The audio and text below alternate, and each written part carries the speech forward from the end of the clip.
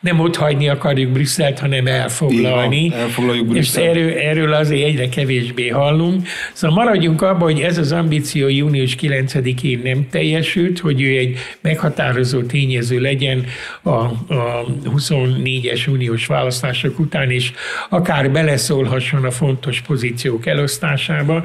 Tehát ebből mindenféle mesterkedése ellenére úgy látom nem lett semmi, úgyhogy ennek a folyamányoként én azt látom, hogy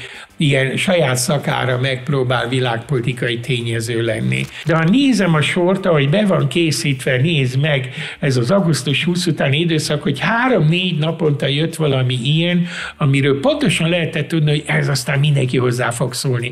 Ahogy értett a Gellért hegyi kereszt, ez ugyanúgy ért majd Beseatyához, meg a mobiltelefonhoz, meg, meg mindenhez, hogy tényleg nem szívesen csúcsálom ezeket, de hát azért nézzük, hogy le van mesterségesen foglalva a közélet, és akkor három dologra már nem jut idő. Nem jut idő erre az önkormányzatok kivéreztetésére, nem jut idő arra, hogy vérforraló nagyságrendben 100 milliárdokban stafírozzák ki továbbra is a, a, a szűkebb környezetben családtagokhoz, meg, meg meg a, a kormányfőhöz lojális vállalkozóknak a körét. Ugye itt egy-két napig ez is botrány tudott kiváltani, hogy átjátszhatták itt a, a sok százmilliárdos értékű ingatlanokat. Jó napot kívánok! Ez itt a Magyar Közöny, a frissírek.hu közéleti politikai magazinja. Hát ma is természetesen olyan témákat veszünk elő, ami az egész országot érinti, a beszélgető társam pedig ma Kéri László politológus lesz. Szia Laci, üdvözöllek! Jó napot kívánok! És nagy három téma csoportot fogunk érinteni, ugye egy kicsit Orbánozunk, tehát hogy mi történt a Fidesz tájéken, Orbán hazatért, és már Köcsén elmondta azt, hogy tulajdonképpen hogy képzelje el az ország jövőjét. Aztán természetesen szó lesz az ellenzékről is, és a nagy tektonikus geopolitikai változásokról is. Kezdjük akkor Orbánnal. Hát azért én Orbánt is beleraknám egy tágabb környezetbe, hogy június 9 óta eltelt egy negyed év ami azért elég hosszú idő. Igaz, hogy ez a negyed év, a nyár volt nagy részt olimpiával, EB-vel, de azért szerintem elég sok minden kirajzolódott. Ebben a negyed évben Orbán Viktort nagyon sokáig úgy láthattuk csak kizárólag, mint világpolitikai tényezőt, vagy legalábbis pontosabb, ha úgy fogalmazok, hogy ő nagyon szerette volna, hogyha a világ őt világpolitikai tényezőnek látja, mert először is ugye tusványosan előadott egy ilyen nagyívű történelmi gondolatmenetet, hogy hogy alakul a jövő a világ egészében, milyen lesz a következő 500 év, és egyéb ilyenek, amik hát igazán ilyen miniszterelnöki hatáskörön némileg túlmutató problémakörök, de hát úgy látszik, hogy ő most már ebben a világban szeret élni. Aztán ezt az elméleti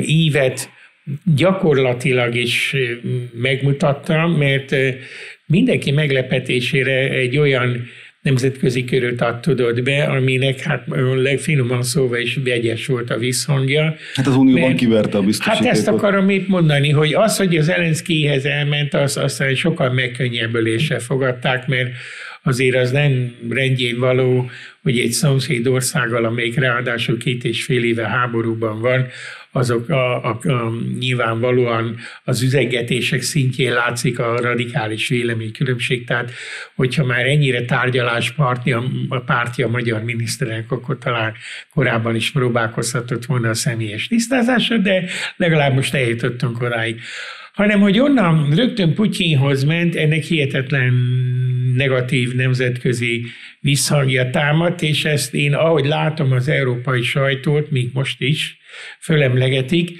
hogy a 26 európai ország vezetője közül egyetlen egy sem találkozott Vladimir Putyinnal 2022. februárja óta, mert úgy gondolták, hogy az akár milyen szinten is, de az orosz pozícióknak akár csak egy, egy ilyen diplomatikus elfogadása is, és hát ahogy Orbán Viktor találkozott Putyinnal, erről még kevésbé volt szó, hanem sokkal inkább olyan volt, mint aki, aki nagyon sok mindenben és hát megerősíti azt a látszatot, amit már két-két és fél éve mondanak, hogy valahogy Magyarország az Istennek se akar leszakadni az orosz álláspontról ennek a háborúnak az alakulásában. Úgyhogy ez nagyon negatív módon hatott, például arra is, hogy július 1-től Magyarország évvégéig a, az Európai Unió házigazdája, se szeri, se száma azoknak a híreknek, hogy kik miért nem jöttek Magyarországra, hogy nem voltak hajlandók az ide tervezett bizottsági üléseket megtartani, vagy tanácskozásokat. Az első kivétel most ez a, az ECOFIN, ahol a pénzügyminiszterek, a bankelnökökkel, meg talán még a gazdasági miniszterek együtt, de ez az informális ECOFIN, nem is a, nem is a formális, ahol már csak a pénzügyminiszterek fognak találkozni. Ez az első, de ennek a korábbi szokásrendje mindig is távol volt a napi politikai mozgásoktól, tehát azon nem nagyon lepődtem meg, hogy ezt itt végül is megtartják. De hát jellemző, hogy a kormányzati média ezt úgy akarja ünnepelni, hogy lám megtört a blokád, most már elmúlt annak a, a rossz árnyéka, hogy, hogy mégiscsak Orbán Viktor saját szakállára világbékét akart alakítani, mert tőle ugye úgy tudjuk, hogy ez a kör, amit megtett, hogy aztán Putyintól Xi Jinpingig, majd, majd Trumpig, és hogy hát ő, ő magát ilyen béke, béke csinálóként értelmezi azóta is. Hát jó, maradjunk abba, hogy, hogy ebből az egészből, ami történt Orbán Viktorral ebből a negyedében, azt lehet érteni, hogy, hogy, hogy korábbi ambíciója, amit szerintem lehetett látni 2022-es választások után, hogy na ez megvolt. Negyedszer is megnyertük a választásokat, ez most már egy olyan bejáratott nagy üzem, hogy rám alig, ha van szükség. Most nézzük akkor ugyanezt nemzetközi szinten, hogy mit tudok még magamnak teremteni, mint komoly pozíciót, és hát a magyarországi pozícióhoz, a magyar méretekhez képest jelentős mértékben megemelte a maga jelentőségét, mert sokáig azt hitte, és azt is hirdette, hogy ő alkalmas lesz arra, hogy június 9-én egy olyan frakciót hozzon létre, mert meg volt győződve, hogy nagyon erős lesz a jobbra tolódás Európában, és ebből a jobbra tolódásból nagyon kevés valósult meg, és az is eléggé megosztott módon, ezt mondjuk az elemzők előtte is mondták, hogy ez az ambíció, hogy majd ő egy olyan jelentős tényező lesz. Emlékszel, hogy majd nem ott hagyni akarjuk Brüsszelt, hanem elfoglalni. Igen, elfoglaljuk Brüsszelt. És erről, erről azért egyre kevésbé hallunk. Szóval maradjunk abban, hogy ez az ambíció június 9-én nem teljesült, hogy ő egy meghatározó tényező legyen a, a 24-es uniós választások után, és akár beleszólhasson a fontos pozíciók elosztásába. Tehát ebből mindenféle mesterkedése ellenére úgy látom nem lett semmi, úgyhogy ennek a folyamányoként én azt látom, hogy ilyen saját szakára megpróbál világpolitikai tényező lenni. Na, én nem mondanék erről végeredményben semmit, csak azt, hogy tett egy kísérletet, és, és valóban elérte azt, hogy például Trump is ezen a legutolsó elnök jelölti vitán kétszer is emlegette őt, tehát aki eddig még nem tudott róla, az is most már kénytelen tudni, hogy Orbán Viktor világpolitikai tényező, mert tudnak róla. A neve szintjén, a hírek szintjén, igen.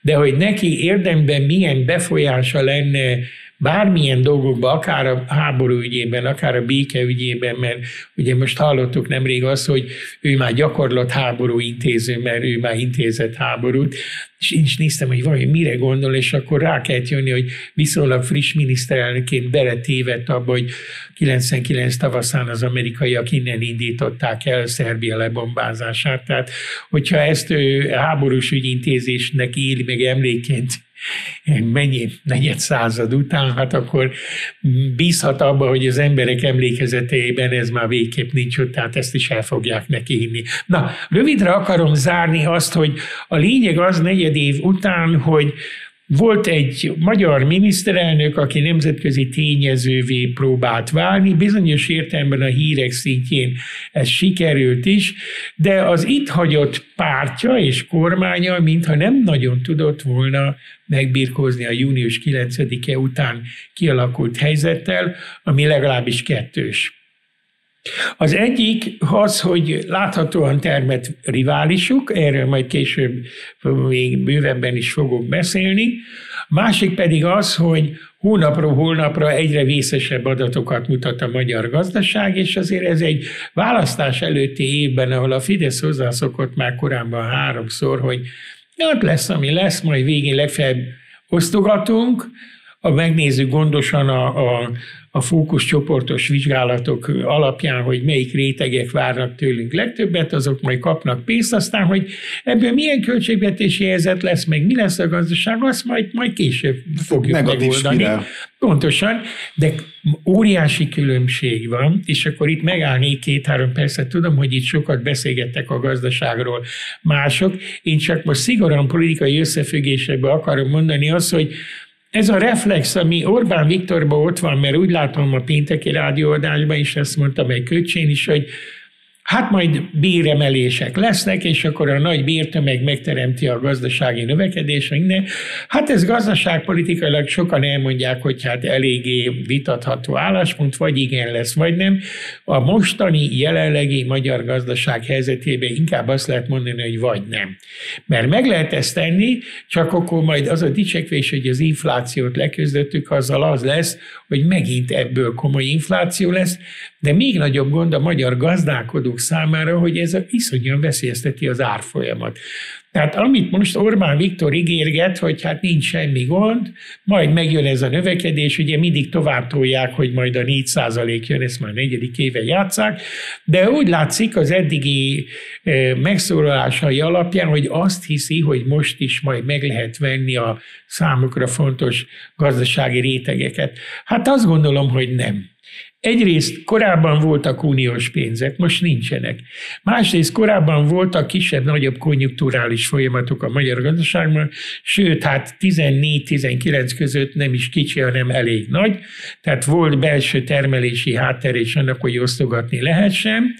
Tehát a magyar gazdaság sokkal jobb helyzetben volt mind, mind a költségvetési egyensúly, mind a, a, a GDP növekedésnek a, a tekintetében, és most ezek mind hiányoznak. De ugye nincs akkor... eurós pénz, nincs, nincs, óriási költségvetési hiány halmozódott föl, évre évre egyre többet kell a kamatszolgálatért fizetni, nincs növekedés, nincs miből finanszírozni ezt a majd, majd megint kitömjük az éhes szájakat. Akarták kérdezni valamit? Igen, csak annyit szeretem volna közbevetni, hogy hát Orbán Köcsén tulajdonképpen kinevette majdnem, hogy az újságírókat, mert azt mondta, hogy ott van több, majdnem több mint 12 milliárd euró az ablakban. Csak erre azt gondoltam, hogy ezt úgy érted, hogy a haverjaid majd viszik az zsákot, és az ablakból elveszik. Hát ez, ez a pénz ott van régóta, és ennek egy jelentős része az idén úgy le fog járni, hogyha nem tudtuk fölvenni, akkor az többet nem jár. Tehát ez megint egy ilyen felelőtlen féligasság, mert ez a pénz ott van évek óta, csak miért van ott? Azért, mert a magyar kormány nem volt hajlandó teljesíteni azokat a feltételeket, ami miatt ezt a pénzt felhasználhattuk volna volna. Tehát erre a 2025-ös ígérgetésre nincs gazdasági növekedés, elég komoly költségvetési zűrzavar és hiány van, nincsen uniós pénz, és hát még van egy probléma, belezavarták a magyar gazdaságot egy olyan ciklusba, ahol a növekedés látszata érdekében iszonyú pénzt szántunk erre a tizenvalahány akkumulátor üzemre, amire az Istennek sincsen kereslet a nyugati piacon, de azért mi ebben rengeteg pénzt beleöltünk. Különböző számok repdesnek, hogy mennyi pénz kellett ezeknek az idehozataláért a magyar kormánynak áldozni, meg ő teremti meg az infrastruktúrális hátteret. Ja, mondtam, hogy korábbiakhoz képest nincs, nincs GDP növekedés, van költségvetési hiány, nincs uniós pénz, és nincs munkaerő. Tehát most már egy ilyen elképzelt növekedéshez, hogy, hogy, hogy honnan fogsz te munkaerőt szerezni, mert azért ennek a növekedésnek az extenzív gazdasági növekedés volt a hátterében, amik a legkevésbé sem a termelékenységen múlik. Mit látunk? Ez a legújabbhoz már külföldről kellett hozni munkaerőt, és ha erre tesznek, akkor még többet kell hozni. Szóval nem, nem rám vár itt a gazdasági életnek az elemzése, csak annak a politikai jelentőségét akarom elmondani, hogy úgy tűnik, hogy Orbán Viktor abban a hídben él, hogy az előző 14 évben meglevő körülmények most is megvannak, és majd 2025-ben azzal kívánja megnyerni a választást, hogy egy többször bevált receptet most is fogja érvényesíteni. Én meg úgy látom, hogy erre minimális esély sincsen. És hogy szerezzen kölcsönöket, a, mondta, hogy Dubaiból, meg az araboktól, meg mit még Pakisztán szóbet, meg elképesztő nevek, országokat hallottam tőle, meg India, meg Kína, nem nagyon gondolhatja komolyan, hogy ezek az országok olyan helyzetben vannak, hogy felelőtlenül úgy osztogathatnak hiteleket, hogy nem nézik meg, hogy azt mire fordítják. Tehát ez is inkább a bluff kategóriába tartozik. Itt megint összekeveri az ő vélt világpolitikai szerepének a jelentőségét, hogy azt hiszik, hogy erre a névre, amit ismernek mindennek, majd számolatlanul adják a pénzt. Hát egy dolog a politikai presztízs, vagy a vélt presztízs, a másik a gazdasági racionalitás számítása, tehát szerintem nem reális az, hogyha az uniós forrásokat nem tudjuk felhasználni, akkor majd mások nekünk adnak annyi pénzt, amiből ugyanezt a felelőtlen a jövőre tekintettel nem levő, csak a pillanatnyi politikai érdekeket előtérbe állító politikát folytatni lehet. Na, ennyi így az Orbáni környezetben, hogy hogy jó napot visszatetszett érni Magyarországra a, a tejútrendszerről, és észre tetszett venni, hogy itt baromi sok minden megváltozott ebben a negyedében, mert úgy tűnik, hogy Köcsén is észrevette, meg az elmúlt néhány nap megnyilvánulásaiból is arra következtetek, hogy meggyőzték, vagy belátta azt, hogy ami az előző három választásnál elég volt, hogy én majd megjelenik a kampány utolsó hat hetében is. Az a az a 34 éves rutin, amivel én intézem a választási kampányt, abban nekem nincs ellenfelem, ez visszamenőleg igaz lehetett, többször is igazolódott, de nem nagyon vagyok meggyőződve arról, hogy ez most is elég lenne, és szerintem ő is rájött erre, meg a tanácsadó is rájöttek. Tehát én is azt hittem a nyári szereplés alapján, hogy majd el lesz a nemzetközi felhőjátékokban, meg a hasonló haverjaival ottan tölti a világpolitikai sakjátszmákat, és ehhez mondjuk a, az emberek 99%-ának az églágon semmi köze nincs, meg az életüknek sincs, de hát ők imádják egymást, mert így szerepelnek együtt a hírekben. Mindenütt, hogy így lesz, és majd megjelenik a kampány végén. És én azt látom most új fejleménynek, hogy Orbán Viktor rájött, hogy be kell szállni a kampányba. És ez a két utolsó reprezentatív szereplése a köcseimből való tudatos kiszivárogtatás, meg a péntek is azt mutatja, hogy ennek azért vannak fenyegető hangnemei. Tehát ez a metafora, hogy hát a kinek véres az inge, és meg még próbáltam érteni, mi az véget ért a szakértők kora, majd egy mondattal később azt mondja, hogy hát áttérnek a szakpolitikai szintre, hát akkor Viktor, hogy lesz ez? Hogy ezek után az ellenzékkel, meg hát gondolom a Tiszával, a szakpolitikai szinten akarod megvívni a vitát, tehát nem a nagy kérdésekről, viszont ebből száműzöd a, a szakértelmet, tehát akkor az lesz, hogy a szakpolitika, a politikusok martaléka lesz, de hát eddig is ezt láttuk, és ebből ez jött ki, hogy nincs egy használható politikusod, aki értelemben meg tudna válaszolni egy olyan kérdést az oktatás válságáról, a tömegközlekedés válságáról, az egészségügy válságáról, hanem csak ilyen Men- Mencer Tamások, vagy kik vannak, szóval ilyen nem is érdemes megjegyezni nevüket, akik ezt a betanult három-négy átkozódást és gyalázkodást tudják szórni az ellenfelekre, hogy ez lenne majd a szakpolitikai szinten vívandó viták, hogy akkor a szakértők védelme, száműzése után jön a politika, és a, majd meglátjuk, hogy ki az, aki véres küzdelmet tud vívni. Ennek azért érzek egyfajta olyan fenyegető másodlagos jelentését, hogy föl kell készülnünk arra, hogy rohadt komoly, nagyon kemény másfél év vár ránk, ahol, ahol nem, Sokkal keményebb, mint az eddigiek, ahol, ahol az eddig még kevésbé látott eszközöket is be fogják vetni. Nem az én tisztem ilyet tisztázni, de azért az, hogy ilyen három napon belül elvitték a harmadik kereti polgármestert 2019-es ügyre hivatkozva, majd az uglóiakat is még régebbi 2016 óta függőbe levő ügyek engem nagyon nehéz meggyőzni, hogy ennek nem direkt politikai üzenete van, van, és nem az van a háttérben, hogy még itt az októberi cserék előtt, ahogy Bizony. úgyis a rengeteg helyet vesztett a Fidesz, és akkor ebbe én belerakom, amit paksal műveltek, hogy elszedik tőlük azt, amiből az a város élt, és hogy még itten további olyan lépések készülnek, látod, a maradék iparüzési adót is el akarják venni.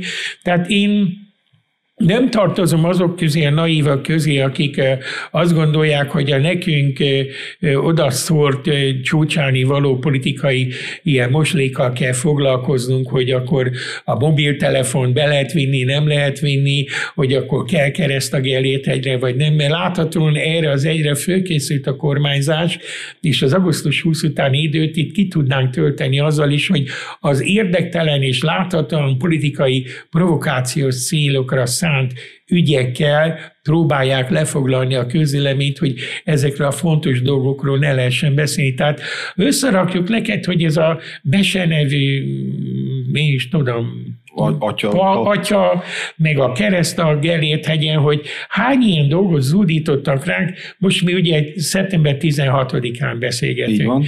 Ez azt jelenti, hogy augusztus 20 óta alig alig né, öt, öt hét telt el. Ha összeraknád, hogy hány ilyen ügyet szúrtak a nyakunkba, amiről eleve lehetett tudni, hogy a média úgyis ugrik rá, eleve lehetett tudni, hogy lesznek hatalmas tiltakozók, hogy ezt így nem lehet, meg majd ruhanunk ide, meg oda, mondom oda.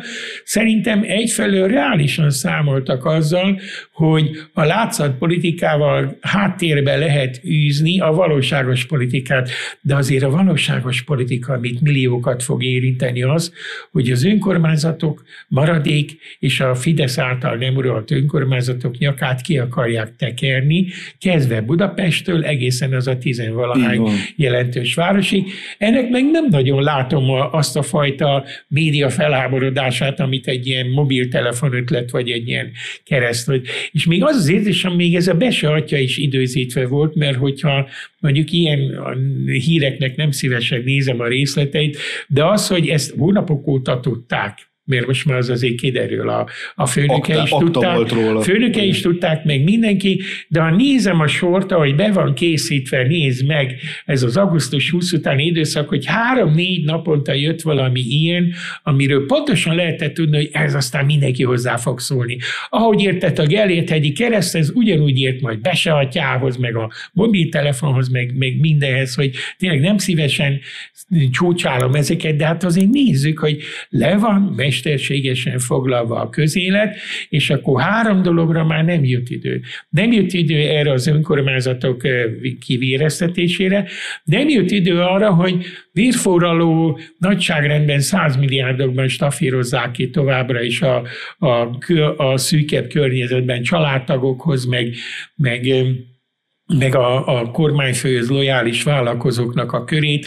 Ugye itt egy-két napig ez is botrány tudott kiváltani, hogy átjátszhatták itt a, a sok százmilliárdos értékű ingatlanokat ugyanannak igen, a igen. körnek, és itt ígérgetett a DK-tól Magyar Péterig több mindenki följelentéseket, nem tudom, hogy ezekből lette valami, de attól tartok, hogyha lesznek ilyen feljelentések, azok se fogják megkapni azt a hírmennyiséget, amit Besehatja megkapott két napon keresztül, miközben itt több száz milliárdokról van szó egy olyan országban, ahol lassan már minden milliárd számít, mert nem tudom, föltűnte neked, amit Lázár mondott, hogy mostantól az egymilliárdos beruházásokat is felül fogják vizsgálni. Tehát egyfelől van egy hihetetlen pénzszüke, amit a Magyar Péter jól le is ver a kormányon az infrastruktúra leposztulásában, és sorra mutatja, másfelől meg változatlanul zajlik ez a 100 milliárdos nagyságrendekbe való jövedelem átcsoportosítás, ez már nem fér be a hírekbe.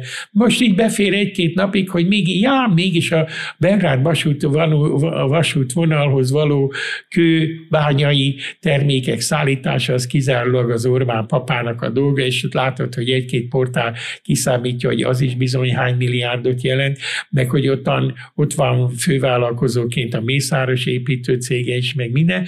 Tehát van ez a másik realitás, hogy amire hozzászokott a Fidesz, hogy minden, ami mozdítható, és amennyire átalakíthatók a tulajdoni viszonyok, abban nincs megállás.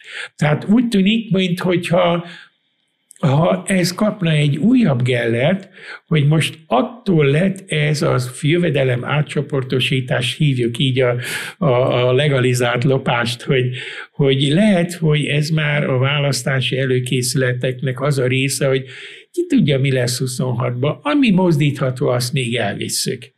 És ez a másik realitás, ami úgy látom, hogy, hogy nem fér bele olyan szinten a mindennapi kommunikációs nagyüzemeknek a pro és kontra világába semmit, hogy beférne. A harmadik, ami nem fér bele, tehát hármat ígértem az önkormányzatok, azt szerintem még sokat fogunk az elkövetkező hetekben beszélni erről, mert október 1-én lesz a, a nagy ráébredés sok helyen, hogy üres kasszát kapnak, viszont csomó feladatot. A másik ez a nagy ívű jövedelem átcsoportosítás, és a harmadik meg, ami egyszerűen érthetetlen számomra, hogy nem ére nem érdekes senkit, megint sikerült márciusig meghosszabbítani a rendkívüli állapotot. Most ezt a, azoknak a kedves nézőknek mondanám, akik még türelemmel hallgatnak minket, hogy hát azért ez vérforralom. Kilencedik éve több-kevesebb megszakítása, de egyfolytában Magyarországon rendkívüli állapot van, mert eredetileg, mert migránsok voltak, aztán Covid volt, aztán háború volt, mindig van rá valamilyen ürügy, de a lényeg az, hogy sikerült olyan közjogi állapotokat teremteni, ahol a parlamenti ellenőrzés lényegében megszűnt, ahol a kormány úgy és az dönt, és ezzel vissza is él, mert néha lehet látni a közlönyök alapján, hogy éjszaka előző nap születnek nagyon komoly, akár személyi, akár intézményi, de akár sok milliárdokat átcsoportosító döntések. Tehát ez a rendkívüli állapot az Orbán kormányt olyan helyzetben tartósítja, hogy azt csinál, amit akar, senkinek nem tartozik számadással, nincs is rá alkotmányos fórum, nincs is rá lehetőség, mert néha egy-egy portál főlázad, mert érdekes, hogy ilyenkor nagy a titkolódzás. Tehát amikor ilyen nagy szájjal követelnek nyilvánosságot egy csomó dolognak, amiről már szerintem túl sok a nyilvánosság, a migránstól soktól kezdve a, a szuverenitás sérelméig, hogy mennyi álnyilvánosságot kapunk, de amikor ilyesmi tényleg fontos dolgokról van szó, hogy mi készül itten a mini Dubajban, mi készül itten a, a többféle helyen, hogy micsoda százmilliárdos üzletek és kiknek készülnek, ott meg ilyen nagyfokú titkolódzás van, vagy például ezeknek az akkumulátor üzemeknek az idehozatalában, hogy milyen feltételekkel, hogy kit vagy a kínai hital felvételni, és ugyanezek a politikusok, akik ilyen mérhetetlen nagy szája oktatnak ki minket, és ilyen végtelenül cínikusan, hogy mi milyen hülyék vagyunk, hogy mennyire nem értünk semmihez, hogy ők a szebb jövőt nekünk idehozták itt élén szíjártókkal, hogy, hogy hát akkor a a szuverénitás bajnokai, hogy mindenütt, hogyha valamit mernek tőlük kérdezni valamit, akkor azt a magyar szuverénitás sérelmeként élik meg. De az, hogy ezek az oroszokhoz, kínaiakhoz kötődő üzletek milyen feltételekkel vannak, ott mindig, hogy hát a kínai fél kérésére, vagy az orosz fél kérésére, hát az, ez a része titkos a szerződésnek. Tehát ezt a végtelen képmutatást intézményesítették, hogy az igazán fontos dolgokról nem lehet semmit tudni. Ha mégis akad újság, újságíró portál, szeretné megtudni, akkor ilyen hosszas pereskedéssel tudja kiszedni a minimális adatokat. Rengeteg pénzért. Rengeteg pénzért is ráadásul. Tehát nagyon érdekes az, és itt akarom zárni ezt az egészet, hogy mindezt azért lehet megtenni, mert a rendkívüli állapottal te olyan feltételeket teremtettél magadnak Magyarországon, hogy nem lehet érdemben ellenőrizni a kormányzati döntéseket, nem lehet tudni, hogy minek mi van a hátterében, nem lehet sohasem kideríteni egyértelműen, hogy a vitatható döntések mögött milyen személyi érdekek, kapcsolatok vannak.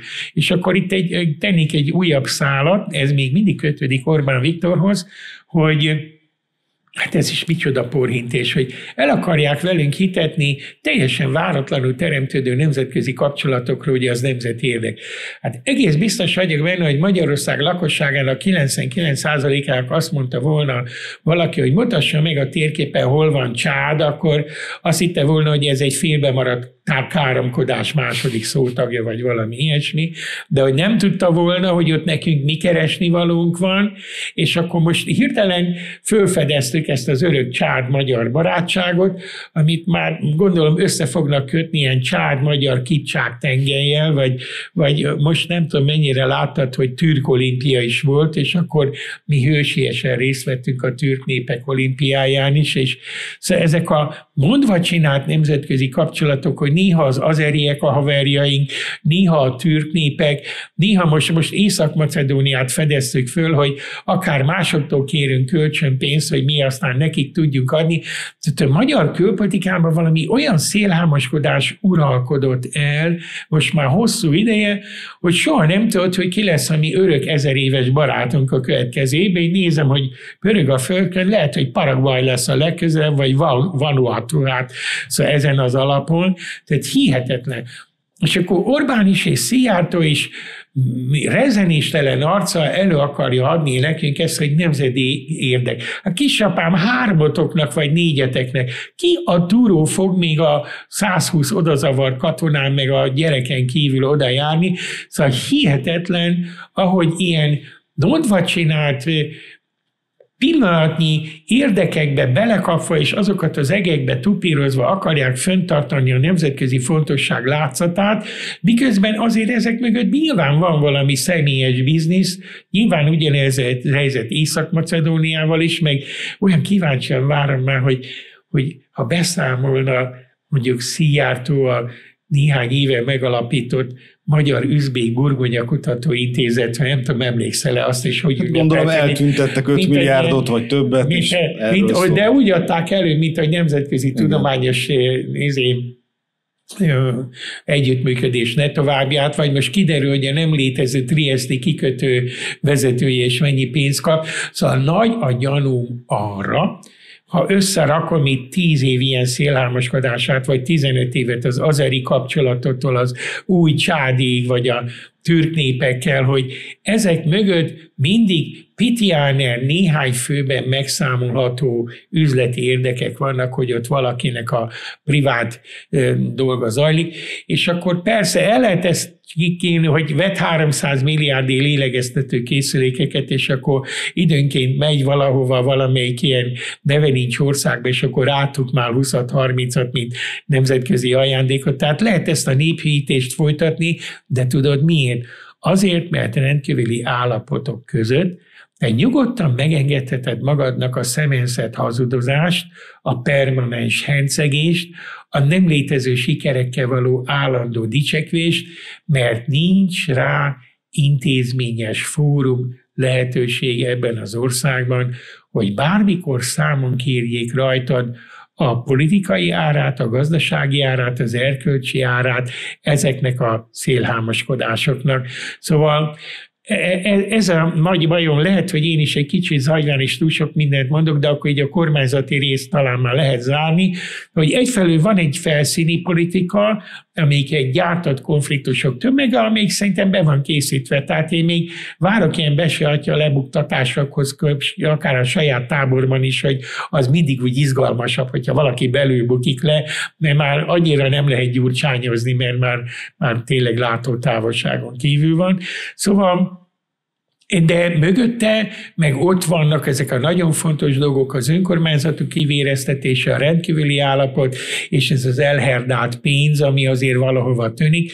Ez meg valahogy ilyen körülmények között, ahol egyszerűen a kormányzati felelősség, ellenőrzés, számonkérhetőség intézményesen ki van iktatva, itt könnyű hercegni. Itt könnyű előállni és előadni, hogy bebe-be, én tudom a jövőt, ugye ezt hallottuk most, vagy a Szijjártó bárhol áll, ő csak sikereket arat, és nincs rá lehetősége senkinek, hogy visszakérdezze, hogy ennek a sikernek mekkora ára van. Mennyit fizetünk mi azért, hogy te lépen nyomon permanens sikereket alatsz itt a kontinensen. Szóval ez rémes. Tehát ha erre gondolok, akkor itt az elemző munkája is ilyen igazi kötszurkálás. Tehát, hogy én is néha szégyenkezve végzem a munkámat, hogy úristen, mennyi marhaságot kell elolvasnom és keresni az értelmet abba, hogy legalább mikor ide jön az ember ilyen helyekre, akkor úgy tűnjön, mintha átlátna az egészen. És akkor mi van? Átláttál rajta, itt néhány még talán, még, eh, talán értik is, hogy, hogy mit akarunk mondani,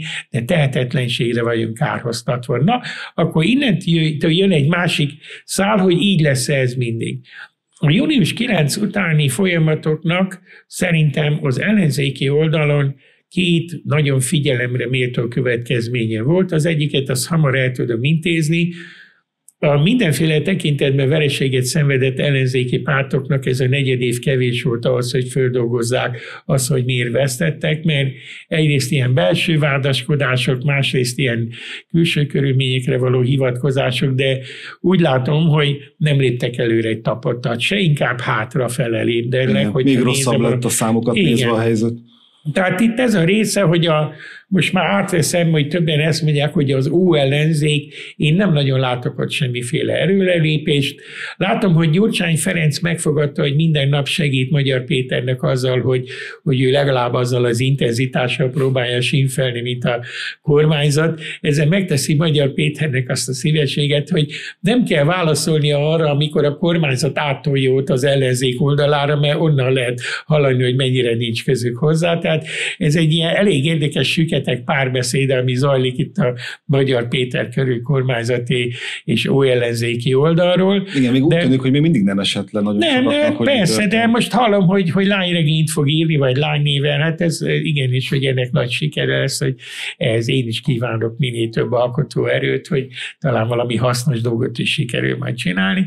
Szóval nem nagyon látom az egész, tehát fölösleges szétszedni ilyen LMP-re, meg, meg Momentumra, meg szocialistákra, meg, meg DK-ra, mert szóval, ha van valami közös vonás, akkor az, hogy nem nagyon tudtak mit kezdeni a június 9-i eredménnyel. Mondhatjuk, és hogy ez a múlt tulajdonképpen? Én nekem a dinamika alapján igen, mert ugyanakkor meg azt látni, hogy ez a mindenkit meglepő siker, amit a, a Tisza párt csinált, meg Magyar Péter, ez, ez nem teljesíti azokat a jóslatokat, amit tanult kollégámtól a médiában mindenütt, hogy hát jó, hát ez egy egyszerű nekibuzdulás, biztos hallottad te is ezt, hogy így ennek a tavasznak, a, meg az országjárásnak ez az eredménye, hogy hát akkor most így hogy sokan emlékeztek rá, és akkor hogy akarják bosszantani az óelezéket is, meg a Fideszt is, és akkor, akkor, akkor most megmutatták, hogy, hogy, hogy tudnak fenyegetők lenni ez a frész a, a választóknak. Hát annyira nem, ezt, hogy a média ilyen mérések ugye pont azt Igen. mutatja, hogy tulajdonképpen két politikai erőre Én is ezt látom, ezt akartam tér. mondani, hogy én azért azt látom, hogy negyed év után érdemes átgondolni azt a víziót is, hogy mit, hogyha a magyar politikai szerkezet a következő másfél évben tartana két pólusú fele, hogy egyrészt lesz a Fidesz a maga szűkülő, de még mindig nyerés esélyes és mindenféle infrastruktúrális háttérre rendelkező bázisára, mert én azért arra nem számítok, hogy a, a Fidesznek a támogatottsága olyan két millió alá menne tartósan, mert, mert azért minimum másfél millió ember érintett ebben egzisztenciális, és hogy ez a rendszer megmaradjon, nem beszélve arról a a közigazgatási hierarchiára, ami az utolsó kis településekig is így meg tudja mozdítani ezt az érdekrendszert. Tehát én nem számítok a Fidesz összeroppanására egyhamar, bár látom, hogy sokan ezt vízionálják. A gyengülésére igen. De az olyan típusú gyengülésére, hogy úgy esik össze, mint az MSZNP 89-ben, azt most még így, még egyszer, hogy szeptember 13-án beszélgetünk, hogy 2024-ben, ezt most én még nem látom reálisnak, bár azt látom, hogy egyre kevésbé tudják uralni ezeket a belső morális konfliktusokat. A, a fenyegető hangnemet persze hallom. Tehát meg is van hozzá minden média, erőszakszervezetek, a, a közigazgatás, meg, meg a nyomásgyakorlás ezer egy módja. Tehát el tudom képzelni azt, hogy a szűkebb bázison, a csökkenő támogatottságon is túl a Fidesz igyekszik egyre nagyobb erőt mutatni ebben a következő időben, mert rá lesz szorulva, mert reális ellenfele támad. Tehát Mert hogy bárhogy próbálják ezt titkolni, Igen. vagy el... És akkor ott érdemes egy, néhány, érdemes egy néhány percet szerintem rászállni Magyar Péter és a Tisza pártra. Egyrészt, akik azt hitték, hogy ezzel kifújt, hogy ez az országjárás, én azt látom, hogy szemben a többiekkel a nyarat munkával töltöttem, mert akár tetszik, akár nem, az is egyfajta munka, hiába szólják le, hogy oda megy és megmutatja, hogy milyen az egészségügy. Mindenki tudja, de amikor este a híradókban is ezzel szemben, hogy anyukám látod, tényleg ő is azt látja, amit amikor bevittük anyádat a kórházba, és láttuk, hogy milyen elviselhetetlen. Tehát ezt próbáltam egyszer egy másik fórumon elmondani, hogy a Magyar Péter nagy újdonsága az volt ezen a nyáron, augusztusban, hogy ezt az individuális tapasztalatot, amit megél több millió ember egyenként, mint az ővét, hogy neki ilyen az egészségügy, átemelte egy olyan közösségi tapasztalattá, ami így, hogy így futott végig, mint vezető hír minimum két héten keresztül, így átalakult egy olyan köz, közpolitikai tapasztalattá, hogy hát ezek mindent elrontanak. Hát ott kormányoznak 15. éve, és ezt se tudták megoldani, miközben ezt is ígérték, meg azt is, meg és ugye ez volt a Fidesz leginkább fontos fegyvere, ez a ez a szakértői attitűd, hogy Igen, csak ők tudják hát a szakértő az a Mercel Tamások, vagy nem tudom, hogy Igen. hívják, ezek szintjén, akik ilyen butuska mondatokat képesek ilyenkor másnak mondani, amit valószínűleg megírnak a rogánék neki, meg, meg hát. Akkor azt szóval... kérdezhetem tőled, hogy a Magyar Péter tulajdonképpen ezeket a mikroügyeket nagyon jól menedzselte, és egy ilyen magasabb narratívába emelte? Igen, szerintem az történt, hogy először ezt, aztán a tömegközlekedést, és végigben az oktatást is, tehát három olyan ügyet átemelt a napi politikai vita témák közé, mert nem azt csinált, amit az ellenzék itt 15 éven keresztül, hogy tart egy 5 perces sajtótájékoztatót, hogy tűrhetetlen, hogy bezárták a Mité Orosházi kórházat, vagy a Nagyatádit, és akkor ezzel el volt intézve egy ilyen sajtótájékoztatóval. A nagy trükk, hogy, hogy képes volt folyamatos témává tenni, és sérelmi témává, és olyat, amiről nem kellett meggyőzni az embereket, mert magánemberként ő is tudta. Az új dolog szerintem ebben a 6 hétben, hogy Magyarországon most millió nagyságrendben tudják emberek köz közpolgárként is, állampolgárként is azt a sérelmet, amit magánemberként szenvedtek el. Tehát, hogyha ez, látom, hogy nem érted. Nem, az, hogy közösségi alakul, itt tovább Pontosan. gondoltam. De ezt akarom mondani, hogy az a te tudásod, hogy, hogy koszos a vonat, hogy nem jön a busz, hogy az iskolában már megint a harmadik matematika tanár van, meg minden, az hirtelen a te személyes családi sérelmedből, meg a rokonság sérelméből átalakul egy ilyen, hogy ezt tettétek egy nemzettel el. Szerintem ez az, amit a Magyar Péter megtett, és ez az, amit nem ért a Fidesz, és úgy látom, hogy az ellenzék sem, mert ennek a nagyon vitatható, sokszor populáris és külsődleges dolgait teszik számon, miközben erre azt tudom mondani, hogy e, e, ezen a szinten a politika így működik. Tehát kitalált valami olyat, amit ők is csináltak volna 15 év, és nem akadályozta meg őket senki abban, hogy ezt csinálják, de hogy csinálja valaki, ezt ahelyett, hogy csöndben lennének, elkezdik a külső dolgokkal, meg ezredangú dolgokkal, meg, meg jönnek állandó ez, hogy és te hol voltál 5, meg 10 éve, meg 20 éve, ilyen alapon mindenkinek volt valami múltja, tehát állandóan azt beszéljük otthon, hogy hát ezen az alapon Nagy Imrét nem lett volna szabad 56-ból engedni, mert hol volt Nagy Imre, ott volt a, a, a 45 utáni kommunista párt vezérkarában. Tehát a lényeg, hogy valami megtörtént. Simán elmaradhatott volna a Nagy Imre és ezen az alapon, hogyha 56-ban azt kérdezte volna a nép, hogy mit keresnek maguk itt, hogy szóval, na mindegy, szóval csak azt akarom mondani, hogy ezek nem érvek. Tehát a múltból előhozott magyarázatokkal akarnak valami olyat megfejteni, ami a jelenlegi állapotokra nem nagyon válasz. Na most ez, ez ugye egyrészt azzal járt, és ezt látom, hogy, hogy folyamatosan bővül a társadalmi bázisa ennek az, az eredeti Van és azt látom, hogy van egyrészt a talpra magyarok közössége, aminek néztem nemrég, majdnem csak nem százezer bejegyzett ilyen tagja, támogatója van, és ami még érdekesebb nekem, ez a Tisza-szigetek. amik gomba módon alakulnak az országban mindenütt, és ezek, ahogy, ahogy én látom, és ami hírek eljutnak hozzám, a, a, elkezdik átvenni a helyi közéletnek a folyamatos kritikai fenntartását. És ez egy iszonyú nagy, változás. Én láttam már hasonlókat, mert annak idén a Fidesz a 2002-es vás, veresége után két-három évig tulajdonképpen a polgári körök tartotta föl, és már nem emlékeznek erre, hogy de akkor Viktor úgy hagyta ott a Fidesz, mint pártot, és vált a polgári köröknek a, az élő szentjévi, akit sorba hordtak. Bázist épített. É, bázist épített, és aztán utána, amikor ez megvolt, akkor lehetett egy egész más, egy néppártot kihozni Igen. abból, és én emlékszem rá, hogy a, az SDS, amelyiknek hát a legkevésbé nem volt társadalmi bázis a 90 előtt, mert az SDS is egy ilyen akció teremtette meg, a, a négy igenes népszavazás az, a névtelenségből hozta föl a választás előtt versenyképes pártán, nem tudom mennyire emlékszett erre, hogy 89 őszén, október-november volt az, amikor egy ilyen marginális értelmiségi csoportocskából az MDF első számú konkurensévé vált, amelyik alig kapott kevesebbet az első választáson, mint, a,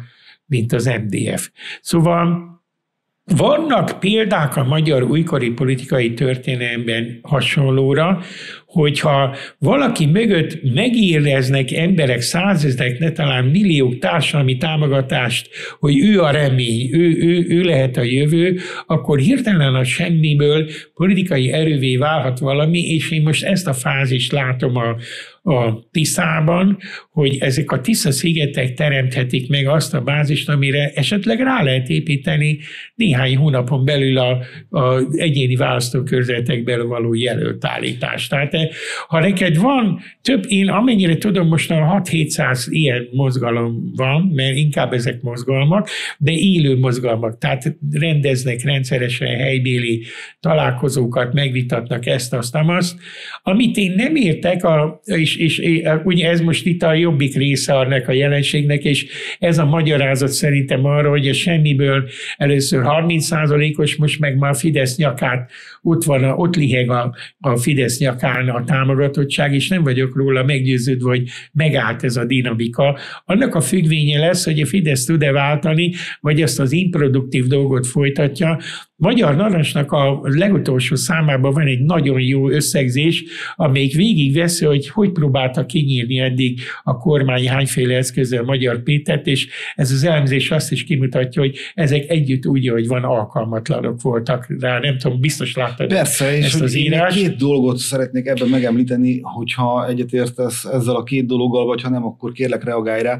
Hát az egyik az, hogy ami számomra feltűnt, hogy Magyar Péter nem ugrál a gumicsontokra, tehát határozottan kitart a témái mellett, Igen. illetve a Facebook amiből csinált ő egy Igen, azt akarom platformot. mondani, e- ezt jó, hogy szólba hoztad, mert a többi párt még szerintem most kezd ébredni, hogy ennek az új politikai formációnak a legnagyobb sikere az, hogy tudomásul vette, hogy a hagyományos médiában vagy nem fér be, vagy ott olyan, olyan kritikus konfliktusok, mint hogy az ATV-vel is történt, ezért eleve a, a social médiába építette a maga bázisát. Ezek, amit mondtam neked, a Tisza-szigetek is így léteznek, meg a, a talpra magyarok közössége is így létezik, meg Magyar Péter tartja vasárnap esténként ezeket a heti összegzőket, ami most elmaradt, mert, mert a, a, ott volt hát a, meg kiment a, disz, a Discordra is kiment, persze. ugye, tehát a fiatalokat is megszólítja. És, és azt nézem, hogy azért ebbe elég komoly bázis van, mert Magyarországon a 40 alatti korosztály igazából már átszokott a social médiára, nem a tévéket nézi, hanem például mi beszélgetésünket is majd ott fogják igazán megnézni mm. néhány nap múlva, amikor a YouTube-ra fölkerül. Szóval ebben is van előnye, de azért látom a kockázatokat, szóval ez a menetelés, amelyik eddig ilyen egyenes vonalú, legalább két-három ponton törékeny, és kíváncsi vagyok, hogy mi lesz a jövőben. Az egyik az, hogy mennyiben folytatható egy politikai előre nyomulás kizárólag egyetlen ember személyiségére építve, és én itt azt hiszem, hogy ez nagyon korlátos. Mert előbb-utóbb az lesz, hogy mindenről Magyar Pétert fogják megkérdezni. Mit gondol a háborúról? Mit gondol arról, hogy százezrek a határon túl vásárolnak? Mit gondol arról, hogy nincs elég matematika tanár? Mit gondol a felvételi anomáliájáról? Mit gondol az átalakítandó választókörzetekről? És akit százféle dologról kérdeznek meg minden szakpolitikáról, az előbb-utóbb borzasztó nagy hiba ö, százalékkal fog tudni válaszolni, mert nem lehet felkészülni egyszerűen. Tehát először is neki el kéne tudni dönteni azt a néhány kardinális kérdést, amiben valóban beletanul. És neki ráadásul ott van még Brüsszel is, ami egy elég fontos dolog védelmi szempontból is. Hogy azért rá fog ő szorulni erre a brüsszeli immunitásra, hogy nem lehet csak úgy bármikor lecsukni az, hogy odavitt műjelekkel, meg egyebekkel, amikhez nagyon jól értenek ezek a szervezetek. De az tarthatatlan szerintem hosszabb távon, hogy mindenre ő válaszoljon, hogy előbb-utóbb ki kell nevelődnie ott egy olyan pártelitnek, ahol legalább a szakpolitikák szintjén, tehát a legfontosabbak a külpolitika, a biztonságpolitika, az egészségügypolitika, az oktatás, az önkormányzatiság, tehát minimum ilyen 12-15 ügyben kell tudni lenni megszólalóknak, és azért ez például azért is nagyon fontos, mert a következő lépés azon túl, hogy remény van, meg felszálló ágon van, meg, meg nagyon jó, hogy ez a bátor csávó mindenkinek neki megy és rettenthetetlen, szóval ezen túl kormányképességet kell mutatni, amit nem lehet egy ember. Tehát egy ember nem lehet kormányképes. Ez, ez egyszerűen a, a, a modern intézmények halmazára épülő politikában képenség, hogy valaki egyedül tudjon kormányképes hát lenni. amit te is mondtál a Fidesz esetében is, hogy ugye annyira, annyira vízfejű az egész párt, hogy Persze. tulajdonképpen működésképtelen. Persze, hát ezt lehet látni, hogy kormányon is katasztrófa ez, úgyhogy persze, hát, de szerintem ez a következő lépés, hogy a Tiszának kormányképesnek is kell lenni, ott viszont az lesz, hogy nem lesz elég megmondani, hogy ilyen a tömegközlekedés, ilyen az iskola, ilyen az egészségügy, hanem előbb-utóbb akarják tőled hallani azt is, hogy milyen. És azt veszem észre, hogy az országban, de a médiában is nem nagyon venni észre, hogy van 21 pontja a Tiszának. Nem tudom, láttad-e? Igen. És ez a 21 pont szerintem olyan, amire valóban fölépíthető már egy kormányprogram, de magának még nem kormányprogram. Tehát ha te azt mondod, hogy visszaállítjuk a katát, az minimum 300 ezer embernek egy megváltás, akinek ez volt a leg, legjobb adózási folyton. Vagy a 21 pontban ott van, hogy mindent megteszünk, hogy a külföldre került a szakember állomány visszajöjjön, hogy teszed meg, mit csinálsz, milyen, tehát jönnek a kérdések. Hát vagy ugye a minimálbér. Vagy a minimálbér, hol lesz a forrása annak. Vagy például az szerintem egy nagyon jó ötlet, hogy külön akarja szociális támogatásba részesíteni a, az otthon, ilyen-olyan okból otthon kénytelen vagy mozgássérült, ilyen-olyan tartós betegséggel szenvedő családokat, akik nem tudnak mellette olyan teljes jogú munkaerőként lenni, és az, hogy végre valaki észrevett, hogy ebben az országban van majdnem 300 ezer nő és 40 ezer férfi, aki egyedül neveli a gyerekét, ami, aki ebben nem volt vala részes, az egyszerűen nem tudja elképzelni, hogy mit jelent egy ilyen élethelyzet. Aki egyedül neveli a gyerekét, az például nem lehet beteg meg nagyon sok mindent nem tehet az életben meg, amit a teljes családokban megtehetnek, és például ebben a programpontban benne van az, ilyet én még magyar politikai erőtől nem láttam, hogy észrevett volna ilyet. Tehát azt akarom mondani, hogy vannak a jelenlegi Tisza pártnak már olyan program ígéretei, ami majd egy későbbi kormányprogramnak a vázát jelenti, de ez így kevés. Tehát ezeknél előbb-utóbb mind meg kell mondanod, hogy ezt hogyan akarod csinálni, és ezt nem lehet majd mindegyiket Magyar Péterre bízni, hogy majd ő fogja ezeket megmondani. Tehát... De legalább ezek olyan szociális intézkedések, amit te is felsoroltál, amik valami fajta reményt adnak, igen. hogy ez az ország nem úgy működik. Pont, igen. Szóval a 21 pontot így végig gondoltam, meg a Magyar Péter ekkori szereplése fölfedezték maguknak azt a népet, akit eddig a, azt kell, hogy mondjam, a Fidesz látványosan letolt. Az, az Orbán és az Orbán körülötti politikai testnek a szereplői állandóan a Fidesz szavazóbázishoz beszélnek. Tehát évek óta csak azt hallom, hogy úgy dumálnak, mintha az ő két millió emberük létezne, és hogy van itt még másik 8 millió ember, aki vagy meg se hal benneteket, vagy már rég nem szeret benneteket, és ők többen vannak, és nekik egész más gondjai vannak, mint hallgatni a ti ígéreteiteket, hogy majd jön a 4 százalék, majd jövőre, nem akkor két év múlva, öt év múlva, meg majd érjük Ausztriát 30-ban, 40-ben, 50-ben, meg minden, ez elmegy a saját bázisnak, de hogy ennél jóval bővebb, tágabb, többszöröse az a Magyarország, akinek földhöz ragadtabb gondjai vannak, ezt a Tisza eddig meg tudta csinálni, és egy dolgot tudott nekik adni reményt, hogy ezen lehet változtatni, de hogy ebből hol van a tovább lépés, hogy hogy lesz ebből kormányzati alternatíva, emögött iszonyatos intézmény szervezetépítés, és a szervezetépítés által kitermelt alsó, felső, középső és, és kormányra képes ekseknek kell kitermelődni, ami hát egy új gondolkodásmód is. Új gondolkodásmód. Én mondjuk másokhoz képes, mert ezt, amit én most mondok neked, ezt állandóan számon kérik a Tiszán és személyesen Magyar Péteren. Én azért vagyok megértő, mert én emlékszem arra, hogy a Fidesznek 88 áprilistól majdnem két év kellett, mire éppen, hogy beférő parlamenti pártá vált, mert azért éppen, hogy befért, hogyha emlékszünk rá. És ki tudta termelni legalább azt a minimális szerzeti struktúrát, hogy ki tudta termelni azt a jelölt mennyiséget, amiből legalább a, a, a listán megvolt, mert egyéni körzetben emlékeim szerint Kövér nyert pápán támogatása, meg Szájer de nem is egyedül, tehát hogy támogatta a többi, meg Szájer Sopronba, tehát azért nem álltak azon a szinten, hogy egyéni választókörzetekbe versenyképesek legyenek a nagyokkal, de befértek a parlamentbe, emögött két év munka volt. Az SZDSZ-nél is 88 novemberi alakulástól eltelt másfél év, mire egy versenyképes pártá váltak, és azt is ennek a 89 ősznek köszönhették ennek a hasonló országjárós dolognak, mert annak idén ez a négy éves kampány, ez feltűnően olyan volt, mint mint Magyar Péter csinált, hogy zászlókkal, nyitott kocsikkal járták be az országot, és nem lehetett nem észrevenni, hogy van itt egy versenyképes párt, akiről nem tudtak.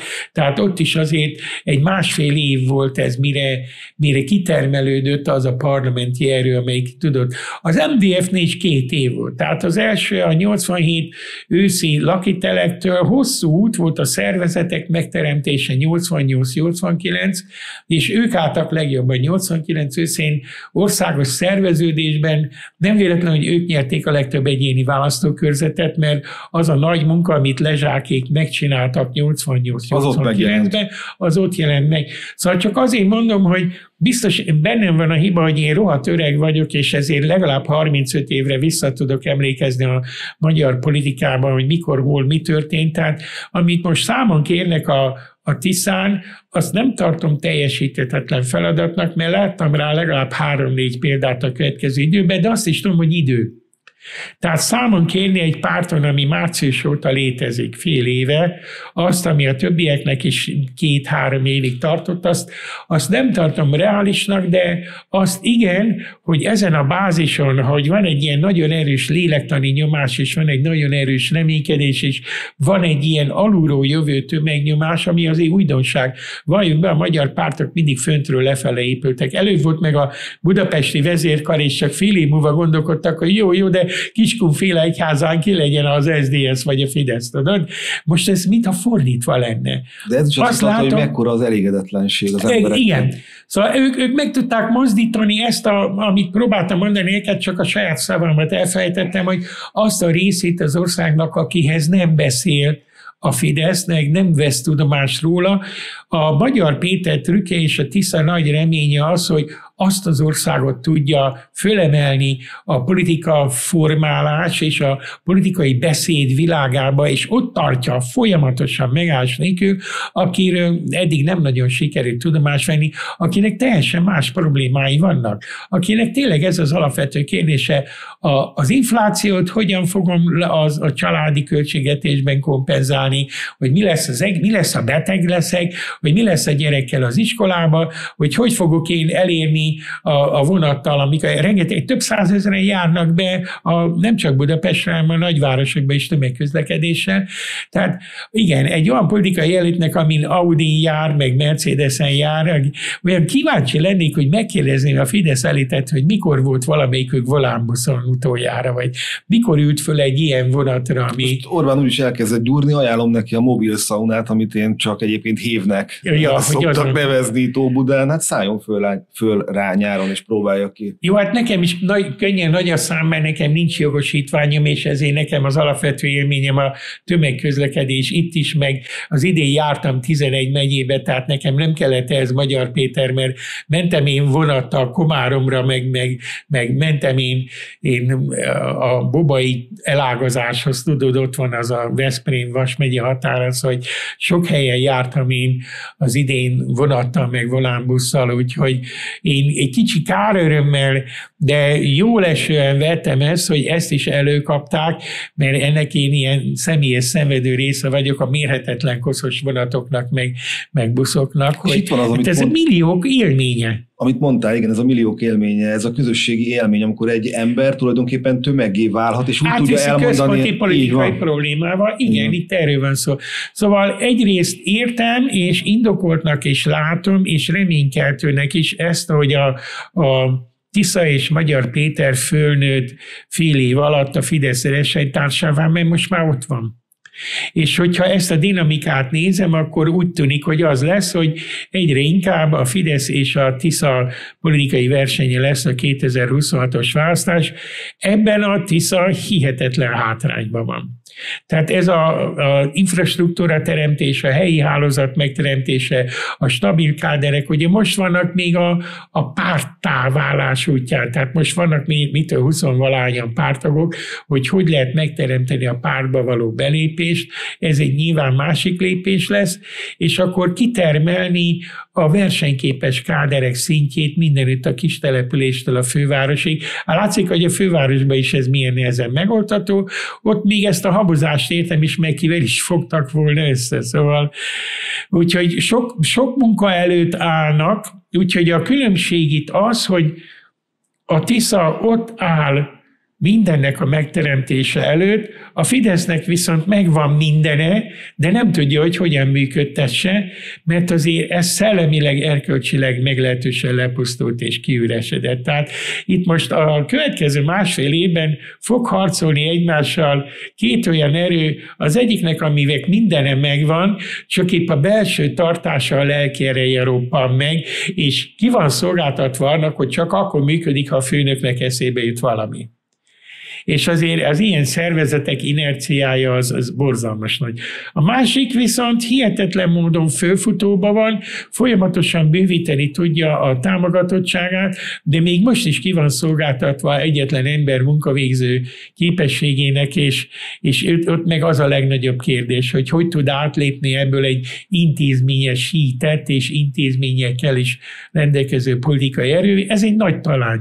Ezt most nem tudjuk megmondani 2024 2004-ben. De ez a hitelesség szempontjából sem mindegy, hiszen nagyjából egy Bianco csekket váltottak be az emberek. Tehát Igen. a Magyar Péternek ebben nyilván a személyzeti politikájában is nagyon, nagyon meg kell gondolni, kell. hogy kiket fog Igen. előszedni. Persze, hát én látom ezeket a buktatókat, de azt is látom, hogy a, a, a születés pillanatától idáig, tehát elég jól vették ezeket az akadályokat. Tehát ha van még tartalék, meg van még ötlet, szóval másképp mondom, itt egyedül innovációt a, a, a Magyar Péter és e, csoportja tudott felmutatni az elmúlt néhány hónapban. Ahogy megszervezték a tömeggyűléseiket, ahogy visszavették a nemzeti identitást a Fidesztől, ami szerintem egy baromi nagy dolog, ahogy ezt az országjárást megcsinálta, ahogy vívja a média vitáit, abban azért mondjuk egyre nagyobb hiba százalék van, de hát az érthető is, mert ez se egy ennyi emberre szabott dolog. Ahogy ezt az országjárás megoldotta, ez, ez példátlan. Ahogy kitermelték az uniós jelöltjeiket, tehát a végignézed, fél év alatt, és ahogy most ezek a Tisza-szigetek termelődnek, fél év alatt ez a mozgalom több innovációt mutatott fel a magyar politikai életben, mint az összes többi párt együtt az elmúlt 15 évben. Ez biztos nem szívesen hallgatják azok, akiknek nem tetszik a Tisza, és állandóan az jut csak eszükbe, hogy ez is a Fideszből jött, és ez is jobboldali. Igen, jobboldali, de az az igazság, hogy a baloldal elfelejtette azt, hogy sokféle jobboldal volt.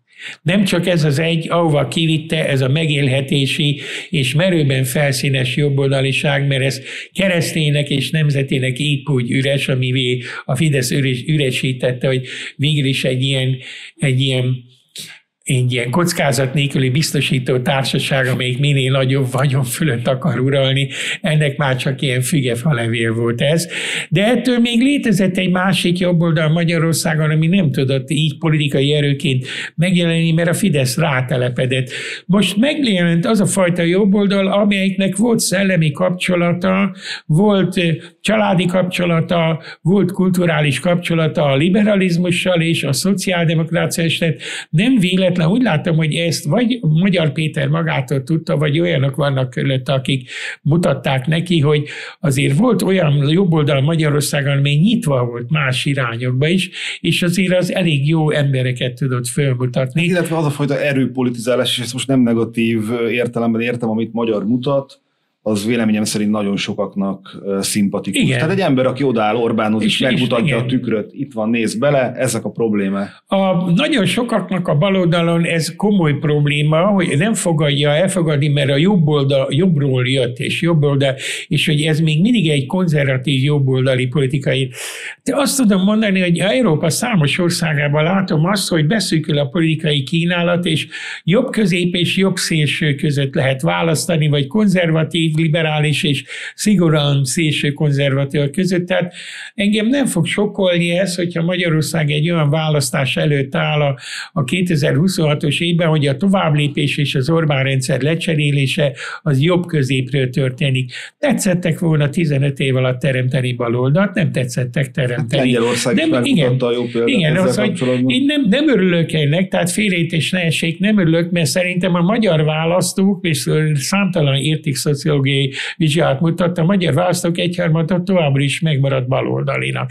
De el tudom képzelni, hogy a magyar baloldali választók jelentős résznek van annyi esze, hogy tud különbséget tenni fontos és nem fontos között, és ha az lesz a választás a 2023-ban, hogy baloldali létére inkább szavaz arra a jobb-közép konzervatív alternatívára, amelyik le tudja váltani a Fideszt, akkor baloldali létére is inkább szavaz oda, mint hogy, mint hogy bele beletörődjön abba, hogy marad a Fidesz rendszer. Ezt tudom, hogy lelkileg, kulturálisan baromi sok embernek nehéz feladat lesz, de én most nem látok más alternatívát. Hát én ezt látom, hogy a minden, aki próbálkozott a DK-tól, a szocialistágig, az LNP-től, a, a Momentumig, ezek mind alternatívák kiestek külön-külön, de ami még tragikomikusabb, együtt estek Együtt. ki.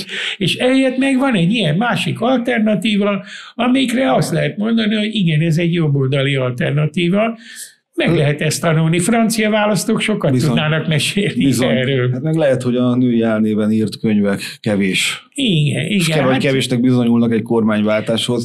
Áttérünk a harmadik persze, nagy... Persze, a, a, szerintem már nagyon, valószínűleg nagyon sok idő elment. A, az egész magyar politika azért bele van ágyazva egy olyan nemzetközi erőtérbe, ahol hihetetlen tektonikus mozgások zajlanak. Látom, hogy a magyar politikai elitben a, a Fidesz részt, azt, azt nehezen nyelik le, hogy ők már eldöntötték előre, hogy Trump nyer, és most szembe kell nézniük azzal, hogy ennek a nyereségnek, ahogy telnek a napok, hetek, egyre kisebb valószínűsége van, és akkor most már azt is mérlegelniük kellene, hogy mi van, hogyha Kamala Harris és a demokraták maradnak meg. Hát úgy látom, hogy ott néhány dologban alapvető változás lesz. Ez, ez az amerikai elemzőknek is, meg a kontinentális elemzőknek is látom lázas feladat, hogy a legnagyobb változás az Izrael politikában várható, ettől félnek nagyon sokan.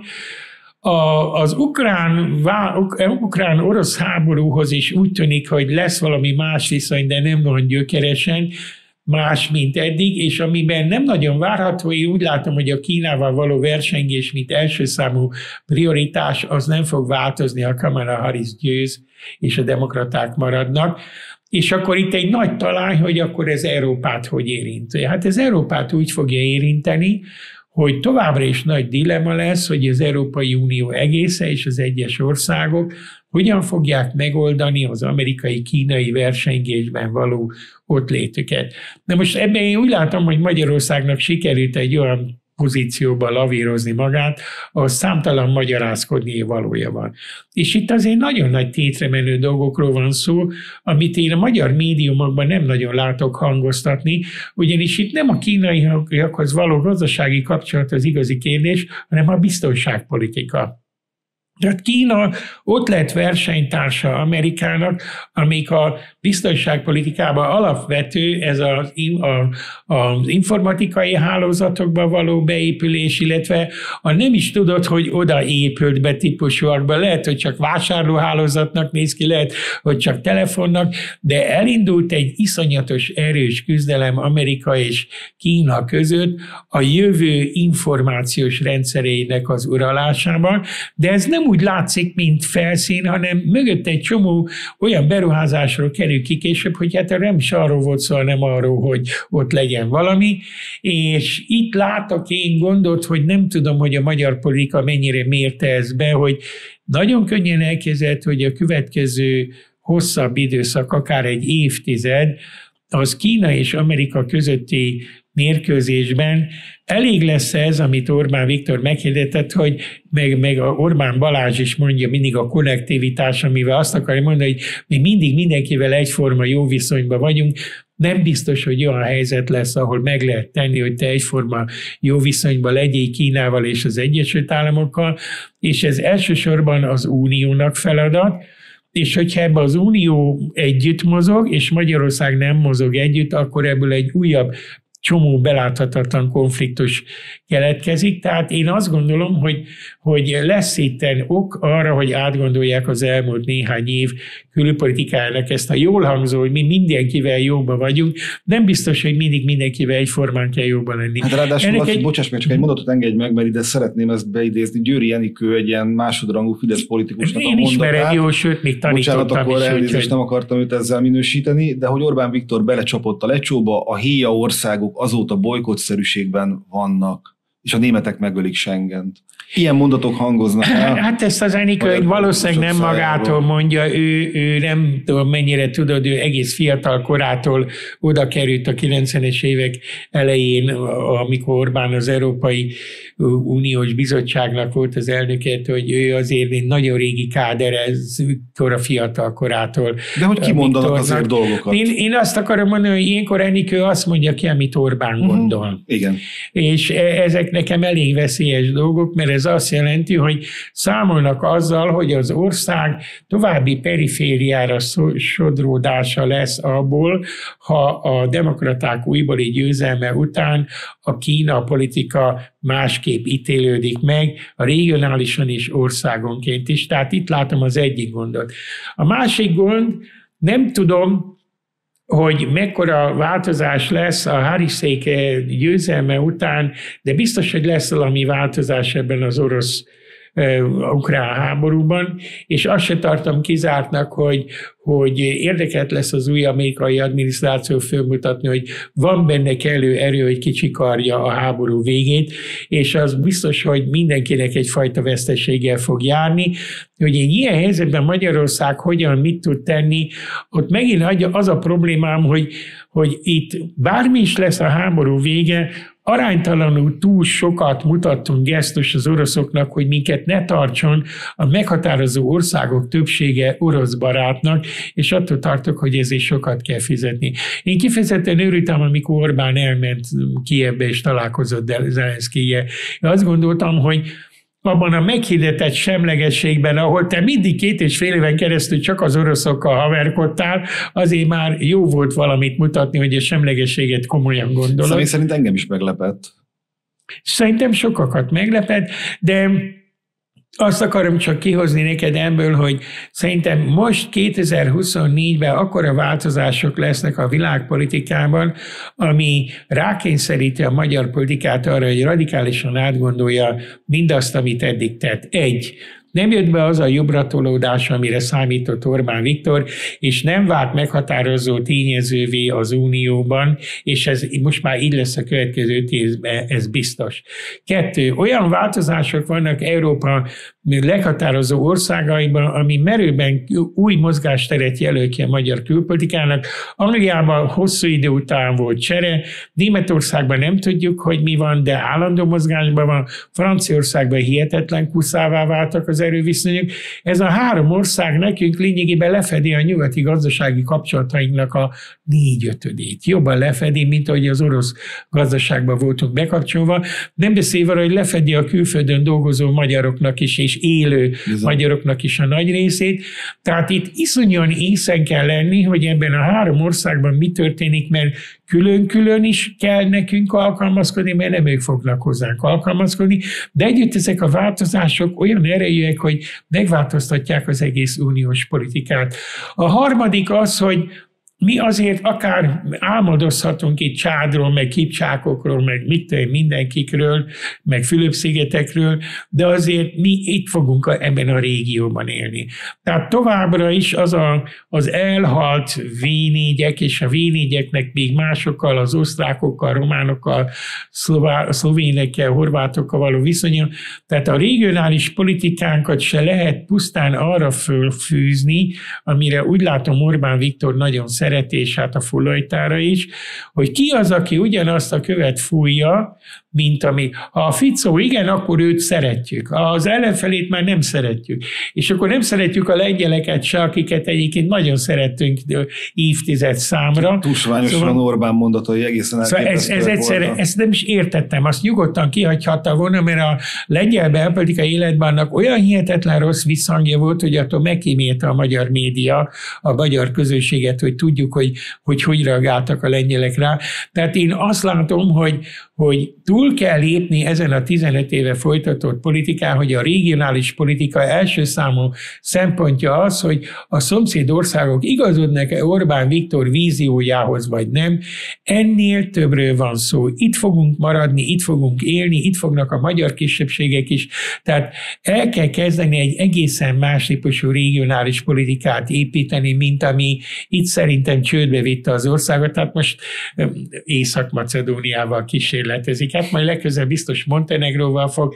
Hát ez a csádi kapcsolat, ez, ez nagyon Ahol lehet kavarni, Orbán otthon. Szóval ez, ez, ez, hogy ez a kalandorkodásra és a vélt érdekekre épített külpolitika helyett jobb lenne letérni, visszatérni a földre, egy új regionális politika kell a szomszédokkal, iszonyúan figyelni kell a három meghatározó országban zajló mozgásokat, és én úgy látom, hogy újra is kell kötni a politikai szövetségeket mind a németekkel, mind az angolokkal, mind a franciákkal, és ennek a hátterében valahogy visszatérni az unióban, ennek tényleg rengeteg kérdőjel, ezt látom, de azt látom, hogy amit művelt Orbán Viktor meg Szijjártó Péter az elmúlt 15 évben, az a perifériára vezette az országot, és ez nagyon drága dolog, sokat fizetünk érte, és ilyen elszigetelődött Magyarország mióta én politikai elemzéssel foglalkozom, nem volt még, és ezen nem segítenek az újonnan fölfedezett barátok, hogy nem fogja kompenzálni Csáda az elvesztett lengyel kapcsolatot, szóval, hogy szóval, röhely. Na. Szóval én azt hiszem, hogy nem csak a 26-os választás a tét, hanem az bárhogy is üt be, Magyarország helyét a szűkebb, a tágabb európai és a még tágabb világpolitikai, világ, világpolitikai horizonton újra kell, újra kell kódolni, újra kell fogalmazni, és újra kell kötni ezeket a netán új személyi kapcsolatokkal. Lehet, hogy mindenütt majd nagyköveteket kell cserélni, sőt, az szinte biztos, de hát nem csak ennél sokkal, sokkal többen múlik a, a nemzetközi. Szóval én azt hiszem, nagyon nagy változások előtt állunk. A következő másfél év lehet, hogy eldönti egy, megint egy hosszú időre Magyarország helyét itt belül is, hogy hogy fogjuk érezni magunkat, eldöntheti a mozgásterünket, hogy előre vagy hátra megyünk, vagy vállaljuk továbbra is ezt a periférián való maradást, és akkor ennek pedig hosszabb távon gazdasági ára lesz, amit hát mindannyian meg fogunk fizetni. Úgyhogy elég komoly választó vonal előtt vagyunk. Ha figyelem a legfelelősebb nyilatkozóknak a beszédét, akkor azt látom, hogy ebből Orbán Viktort egyenlőre egyetlen dolog érdekli, minden áron meg akarja nyerni a 26-os választást, bármi áron. De ez a bármi ár most nagyobb lehet, mint az előző négy választásnál volt. Ezt már velünk tudja csak megfizetetni, de egy nagy kérdés, hogy akar-e vele menni majd 5-6 millió magyar választópolgár, hogy ő is hajlandó ezt a bármi árat megfizetni. Én most úgy látom, hogy ebbe is vízválasztó van. Egyre többen vannak, akik azt mondják, hogy ezt az árat, Viktor, már nem vagyunk hallandók veled megfizetni. Hát ráadásul úgy, hogy nagyjából másfél millió ember jólétét szolgálja ki az összes többi. Igen, igen, de ami a nagy különbség, hogy ennek most egyre többen tudatában vannak. Ezt, ezt megélték otthon magánemberként, most megélik politikai közösségként, és ez egy, ez egy nagyon nagy változás. Úgyhogy fantasztikus másfél év elé nézünk. Én azt hittem, hogy, hogy ilyen nyugdíjasként elpiszmoghatok a magamnak talált feladatokkal, és nem kell különösebben politikai elemzéssel hát foglalkozni. Ez, ez a. Hát ahhoz, hogy nálad is hanyatszó járok, meg, meg hányatszó voltam az ultrahang, meg a bánóbolgár, meg az ATV, meg a, a magyar hang. Szerintem életemben nem kellett ennyit szerepelnem, mint az elmúlt egy évben, és ez nem jó jel. Hát azért tekintsünk pozitívan a jövő felé. Laci, nagyon szépen köszönöm, hogy itt voltál és beszámoltál nekünk a tapasztalataidról, véleményedről és jövőképről.